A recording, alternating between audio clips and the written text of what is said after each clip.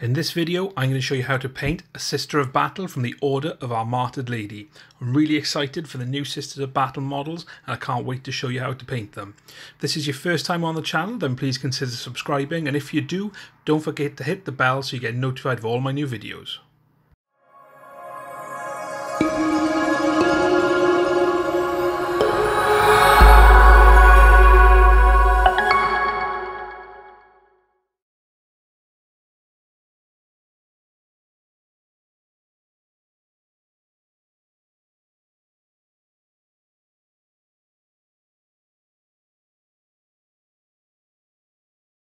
Let's get going with this Sister Battle. I'm really excited for this. Absolutely love the new models. They are fantastic. So we've undercoated with Chaos Black Spray. Again, use whatever black primer you want. And I've just taken some Abaddon Black, watered it down and run it all over the model. So first thing we're going to paint, I'm going to use Mephiston Red. We're going to get the outside of the habit done. So I'll turn it around because uh, it's easier to see a lot more on the back. So we're just going to work this Mephiston Red all over the habits. We've got the bit on the back here and you can see that it's going on fairly well. You will need two coats of this, so just take your time and work your way around. We've also got the sleeves as well. Don't forget those. So work your way all the way around the model and then once you've finished the first coat, give it a second one we'll come back and we'll start to uh, start to shade it and then highlight the cloth.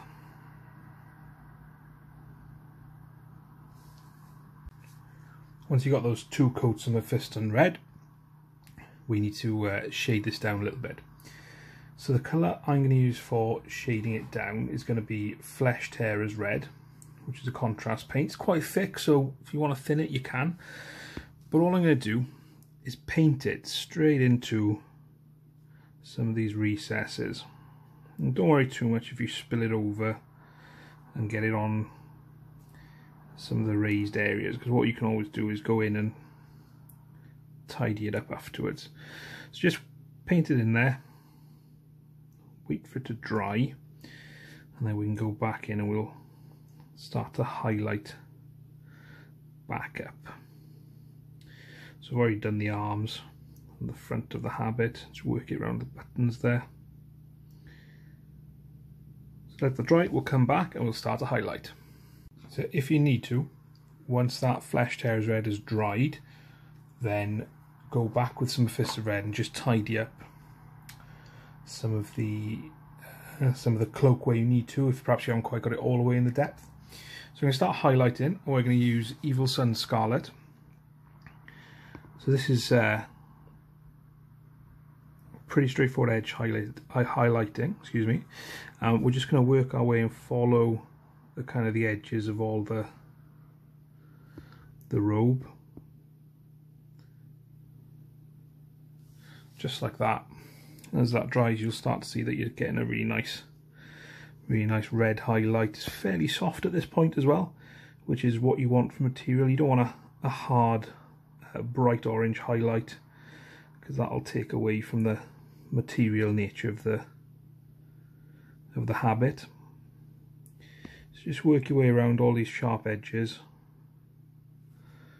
And once you're happy that you've got everything, let it all dry we'll come back. We'll just pop one more highlight on there.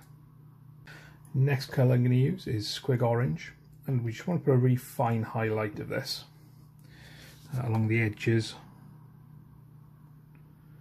of the habit. And just in the the central areas here we want to make sure that any lines we draw with this are going to be really thin.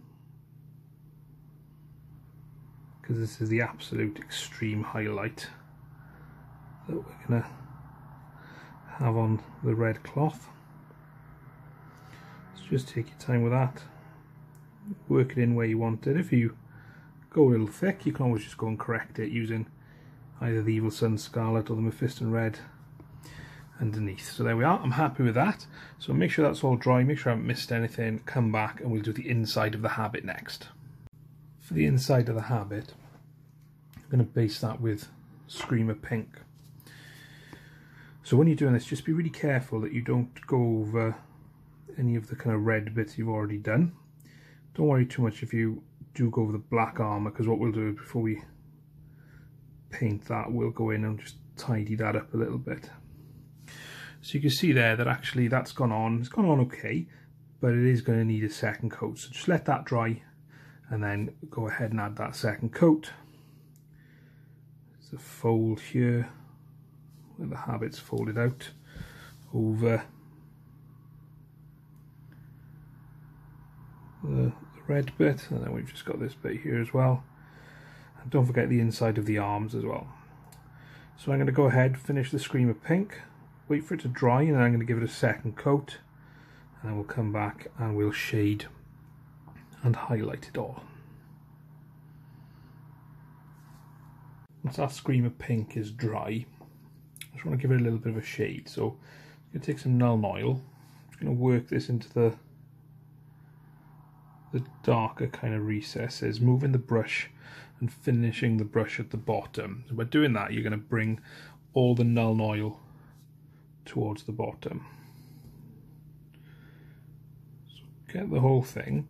Just be careful when you apply it as well. You don't want to put a load in because you don't want it to to pool because it'll just look a little bit off and make it much more difficult to do the highlighting. So whilst we've got nice subtlety across all the red, we'd lose it over the Screamer Pink if we let the Nuln Oil kind of settle too much. So let that dry. If you need to put a little bit more on, then feel free to go in and put a little bit more on. We'll come back and we'll, we'll highlight it a bit. So that nice bit of shading done, the first thing I do is just take a little bit of Screamer Pink and just kind of re-establish it in some of those areas where it may have got a bit dark. So as you see there, I'm not putting too much on at all. Just working it quietly in. So that's that bit done. And the next thing I'm going to do is I'm just going to take some pink horror. I'm going to use that as a, an extreme highlight. But with the pink horror, I don't want too much on my brush at all. I'm just going to edge it a little bit in there. Just to give a little bit of a, a light. Uh, and that's working quite nicely. So work your way around the model, just get those last few lights done and that's the habit complete. So next up we'll have a little look at doing some of the, the leather before we go on to the metallics and the last thing we'll do is the black armour. So for painting the leather we're going to start off with a base coat of a dryad bark and this is pretty straightforward, just going to work it over all the, the leather bits, being really careful when we come to the parts that we've already finished, such as the red habit. It's a really straightforward part of the model, but it is really important you take your time. Don't forget to get the holster painted as well. Now there might be some places, when you're going over the black, it'll probably cover quite well. When you're going to paint over some red parts, for example, you may need to just give it two coats. So take your time, work your way around, get that done, and we'll come back start highlighting it. This highlight, we're going to use Doombull Brown, and we're just going to put this as kind of like a, a thick edge highlight on the leather where we're leaving the Rhinox hide in the in the recesses. So just take your time, work your way around. I think looking at this I've probably watered it down a little bit too much so I'll let it dry. You might have to do another another coat we'll see. Just take your time especially when you're on these parts where you've already got the red and when it's dry we'll come back and we'll put a final highlight on it as well.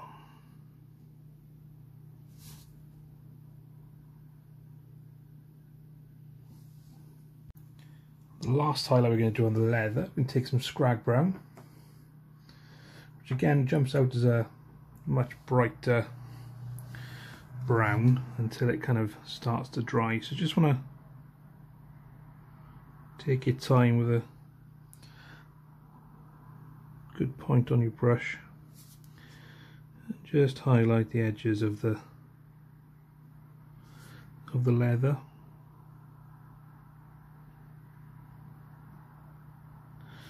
So I mean, I'll work your way around. Once you're happy with all of that, like I am there, we can just go on and we'll uh, we'll do the metallics next. We'll start with the silver, then we'll do the gold. For the silver metallic, we'll start off with a base of Leadbelcher. Now, this isn't particularly uh, great for people to watch, so uh, we'll just work our way around. So we've got the bolt gun here, so I want to paint all of the bolt gun.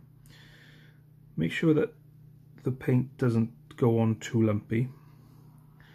So you can see that once I start spreading it out, it does streak a little. That's fine, we'll just we'll go in, we'll give it a second coat. Don't worry too much if we get it over this icon because it's easy enough to paint over. So we've got the weapon. Uh, we've got the chainsaw as well, so we paint all of this. Again, nice and straightforward. Make sure you spread it out so there's no uh, lumpiness in it. And we'll go back, we can always do a second coat afterwards. Uh, in terms of some of the other areas, I'll just work my way around them quickly. So we've got these beads here, which I think will look good as metal. So let's work them, don't worry if you spill over too much. We've got this tube in here, just work that in. And then on the backpack, we've got these parts around the the balls. And we've also got the exhausts in there. So I'm going to work my way around the rest of the model now getting all the other silver done. Uh, and if I need to do a second coat, I will. But apart from that, get yourself going, enjoy it, we'll come back and we'll shade and then highlight it. Metallic shaded then. So I'm going to shade them with two tones. So we're going to use Nuln Oil on the lower part and on the gun workings itself this is just following the box art. Uh, it's got a kind of a different coloration and on the sword, chain sword, we're going to do the teeth, the handle and the uh, exhaust here with black. And then what I'm also going to do is for the gun casing, I'm going to wash that with Agrax Earthshade. Um, because if you look at the box art, it's, the case has got a brown tint to it, which we'll get quite simply by using the Agrax Earthshade on the casing. Just take your time doing that. And same thing on the chainsword, just on the casing, we're going to give it the the Agrax Earthshade. Now, really important that you don't let this pool, so just keep an eye on it as it dries. Try not to put on too thick let that dry and we'll come back and then we'll highlight the metallics. Highlighting the metal is really straightforward so you just want to take some chrome from Vallejo Model Air and on the chainsaw we're just going to run it along the edge and along the back edge there. See it's not quite uh, quite dry, so I'm being a bit naughty there. Um, but it's okay. So we want the edge along there as well. And then when it comes to the bolt gun, again, the same thing where we just want to take the edge and run the the chrome over it just to pick up and get a nice highlight. So I'm going to work my way around the rest. You can too. Then we come back, we'll start the gold.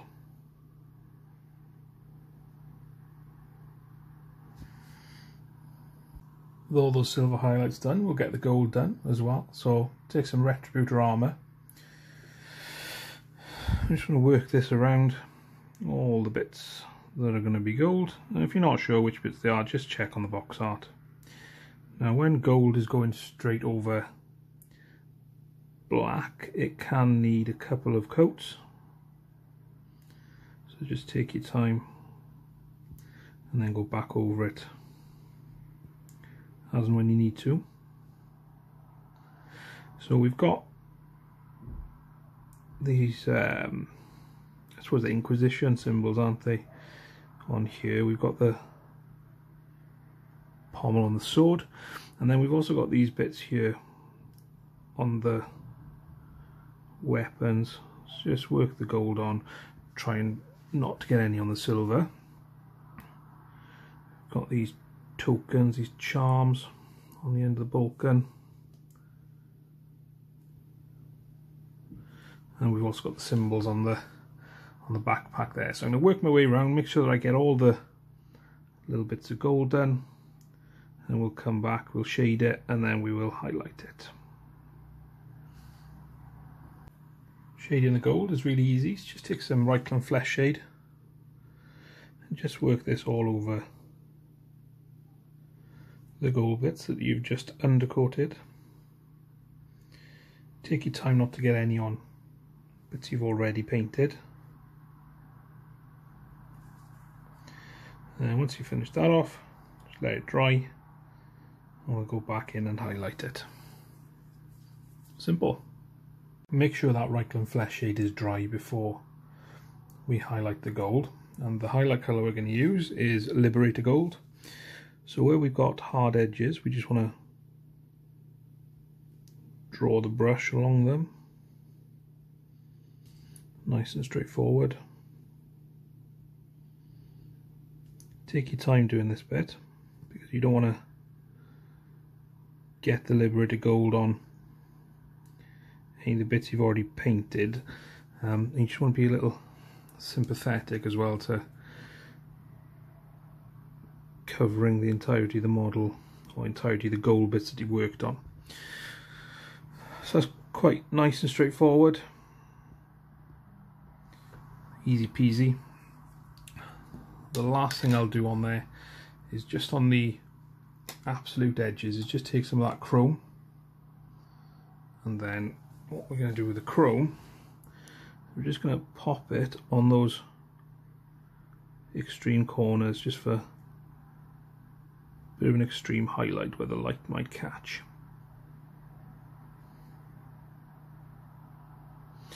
Nice and straightforward. There we are, that's the gold done.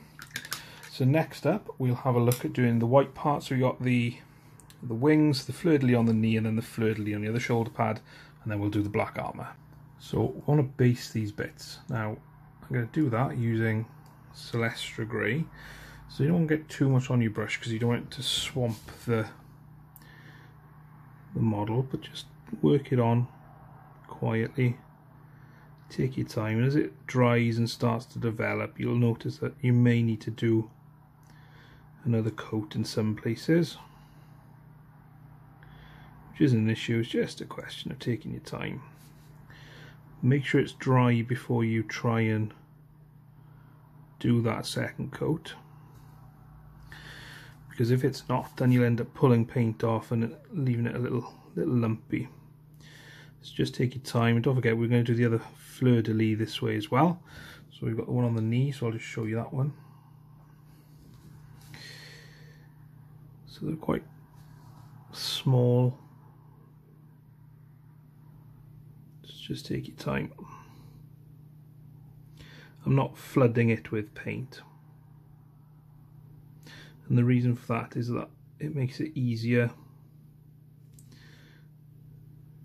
quicker to paint it in the in the long run because essentially the black underneath provides the shadow between the different bits. So I'm going to finish off that shoulder I'll do the other fleur-de-lis come back and we'll highlight it. So I'm just going to put the one highlight onto that Celestra Grey and we're going to use White Scar really important that you've got a good tip on your brush for this bit what we're going to do is we're just going to highlight the wings.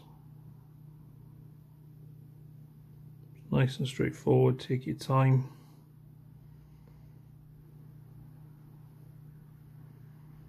Maybe that you need to do a second coat, and if you do, that's fine. Just work your way around, and then if you go over the edge, it's not too much of an issue because you can just go back in, clear it up with uh, with some Abaddon black. So I'm going to finish off the rest of the wings and we'll come back um, and I think we'll make a start on the black armour. Get into the black armour then. The first thing you need to do is make sure that there's no overspill on the armour so go around it, check it all out with some Abaddon black and just get it all back to how it should be. And then the first highlight we're going to do on the black armour is going to be Inky by Darkness. So this can be a fairly chunky highlight and what we'll do is we'll refine it down a bit with subsequent highlights. So what you're doing is you're looking for all those edges of the armour. Take your time, work it on. Where you can, use the use the edge of the power armour so on the knee, for example, you just run it over the top there. On the knee itself, just got a kind of circular highlight there. So work your way around all the black power armor. Leave the corset, we're to, and the gloves. We'll do them slightly differently because it's uh, even though it's black in color, it's a different kind of material. So obviously the armor is quite a hard material, whereas the corset and the gloves are leather so it's a softer material so we want to kind of take that into account in our painting and our colour choice. So work your way around, I'm going to do that off camera, we'll come back. We'll have a look at the next highlight colour. When you finish working your way around with the Dark Reaper, we're going to then take some Thunderhawk Blue. And we're just going to go over those areas that we've done the Dark Reaper. Again using the shape of the plastic to work for us. What we want to try and do is just make a thinner line using the point of the brush. And this will kind of give you that much crisper highlight. Using the Thunderhawk blue Don't worry if it seems too stark. What we'll do is once we've finished all the highlighting, we'll have a look at how it looks and then we'll make a call and if we need to push it back a little bit by putting a little glaze over it then that's what we'll do and I'll show you how to do that really easy really straightforward but for now just work your way around those parts of the model where you've already put the the highlight and then we'll come back and do one more before we consider whether or not we need to to pull it back a little. Last highlight then for the black armour is Fenrisian Grey. Now you want to use this really sparingly because it is so much brighter than the the other colours. So just take your time, you want a nice point on your brush and just work it into those brightest parts, those brightest areas. working it around the model. Take your time and if you do put what you feel is too much on you can always go back and, and correct that easily enough. So there you are, I'm just going to go around now and find any other bits where I think the extreme highlight will work. And then that's the black armour done, we'll move on to the black material next. Moving on to the black material, we're going to use some Skavenblight Dinge as the first highlight. So this, we've got the corset here, so just want to work around there. And you can see straight away that it's a different, or gives a different shade on the on the model. And we've also got the gloves. So don't forget to highlight those and all the fingers. Just take your time, work your way around. Nice and straightforward, nice and simple. So once you've finished all that, we'll come back and we'll give it another highlight.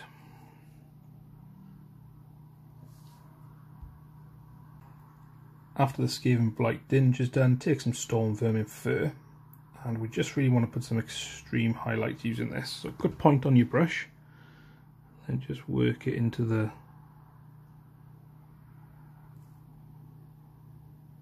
areas where you want the the highlight to be and that'll just give you a nice bit of shine. Work on the figures and the glove. And once you finish this stage, there's only one bit left on the the battle sister, and that's all the studs. So once you've gone round, you've highlighted the gloves how you like, come back, we'll come back and we'll get that last bit of the battle sister done. There are lots of studs all over this model, um, so take your time doing this. It is really straightforward, it is really easy, but just take your time. So I'm going to take some chrome from Vallejo Model Air and I'm going to just touch it against every stud being careful not to overspill.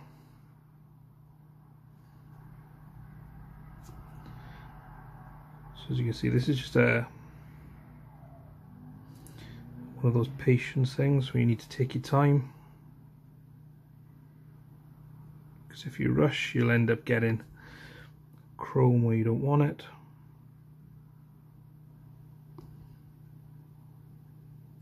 good to make sure you haven't got too much on the brush but you do need a, a decent amount so that you can kind of just touch that stud and move away.